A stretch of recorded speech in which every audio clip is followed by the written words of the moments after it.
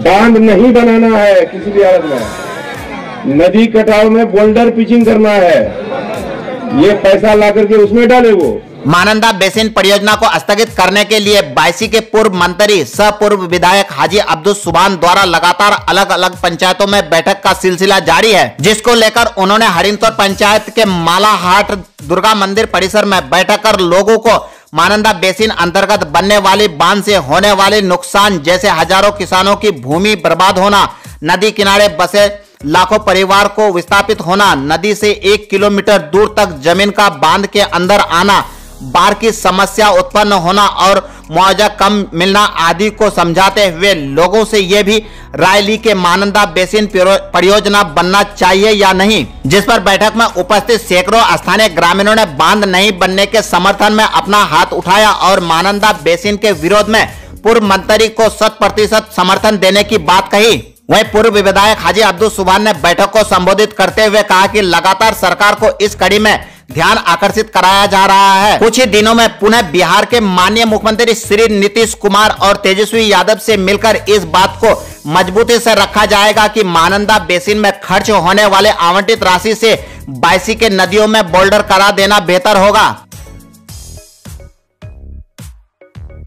बाँध नहीं बनाना है किसी भी हालत में। नदी कटाव में बोल्डर पिचिंग करना है।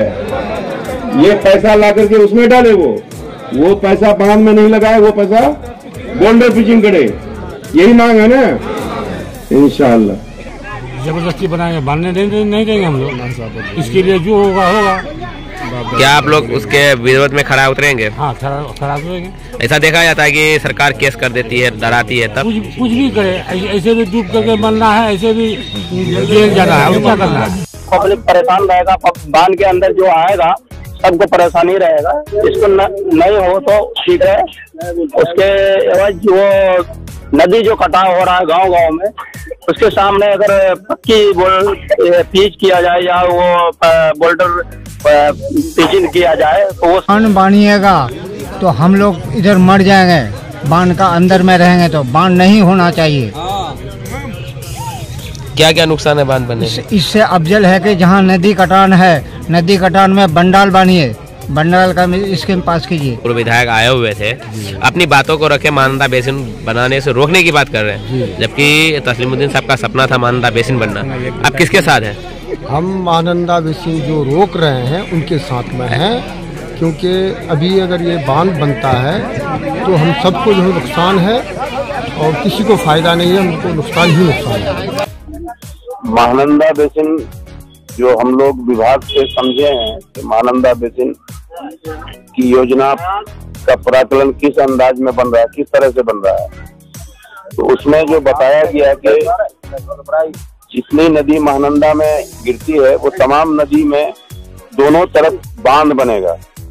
दोनों तरफ़ बाँध बनेगा और जो कटाव हो रहा है तो कटाव के लिए इसमें कोई योजना नहीं है। कटाव के लिए बिहार सरकार समझे कटाव रोकने के लिए। तो भारत सरकार का जो ये मानंदा बेसिन का जो बाँध बनेगा, अगर हमारे यहाँ बनता है तो बाईसी अनुमंडल में चार नदी है। मानंदा है, कनकई है, पड़वान है, पनार है। ये चारों नदी का अगर पूरब तरफ़ और पश्चिम तरफ़ अगर बाँध बन जाएगा, एक भी गाँव बचेगा ही नहीं कि कोई गाँव बचेगा बाहर। सब टोटल गाँव अंदर आ जाएगा। ये टोटल पूरा बाईसी इलाका हमारा खत्म हो जाएगा। कोई नहीं बचेगा। एक भी गाँव नहीं बचेगा। और ज़मीन ऐसे ही हम लोग का चले जा रहा है नदी में। हज़ारों एकड़ ज़मीन नदी में है। अब फिर जो भी ज़मीन उसके अंदर आता है उसको चार गुना मुआवजा चार गुना का एक हज़ार टका दाम बोलेगा चार हज़ार टका दे देगा।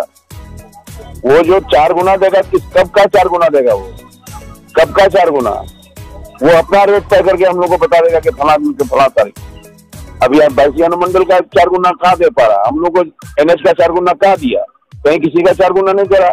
जो रेट में हम लोग बेच रहे हैं, उस रेट को कहा वो मान रहा है? नहीं मान रहा है। वो बात तो अलग बात है रेट का।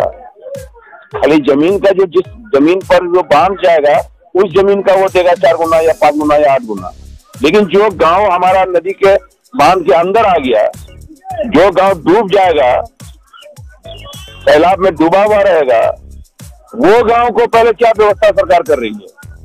उसकी व्यवस्था पहले कर दे वो। जो जिसका जितना ज़मीन में वो बसा हुआ है, उतना ज़मीन और जितने का, जितना खर्चा का मकान उसका बना हुआ है, चाहे पक्का मकान बना हुआ है, फूस का मकान, जो भी मकान उसका बना हुआ है, जितना लागत का, उतना ही लागत का मकान वो बाहर बना दे, वो बाँध के बाहर। और ज़मीन, उतना ज़मीन में उसको बाहर पहले बता दे पहले, उसके बाद वो यहाँ ज़मीन बाँध बना बिहार में सरकार तो लोगों की है, राय एक बार दिए हैं तेजसी जी और बहुत सारे मंत्री को फिर अभी हम लोग सब तैयारी करके जा रहे हैं मन- मंत्री से मिलेंगे। अभी महबूब साहब भी, भी कल सर्वे कर रहे कर रहे हैं वो अपने ग्रुप को लेकर के कदुआ कदुआ कदुआ ब्लॉक का बर्फारसोई ब्लॉक का। तो हमको भी बुलाया है लेकिन आप जा पाएँगे नहीं जा पाएँगे पता नहीं। तो वहाँ पर वो लोग सर्वे कर रहा है तो वो देख रहे हैं कि भाई ये बनने से फ़ायदा है कि नुकसान है। तो तमाम लोग एक शोर में बोल रहा है कि नहीं इसके बनने से नुकसान है ये नहीं बनना चाहिए। बाँध नहीं बनना चाहिए। इसके खिलाफ है, बाँध के खिलाफ में और बाँध के बदले में नदी कटाव को रोका जाए बोल्डर पिचिंग किया जाए, पक्काकरण कर दिया जाए, उसको पूरा पक्का कर दिया जाए। नदी नदी के किनारे में पूरा बाँध बना दे उसको। नदी के किनारे पे, नदी से दो किलोमीटर, एक किलोमीटर बाहर बनाएगा। और हमारे यहाँ का जो है मतलब परवान नदी ऐसा है, इतना टेढ़ा बेटा है कि इसको बनाने में एक भी गाँव जो नहीं बचेगा हमारा।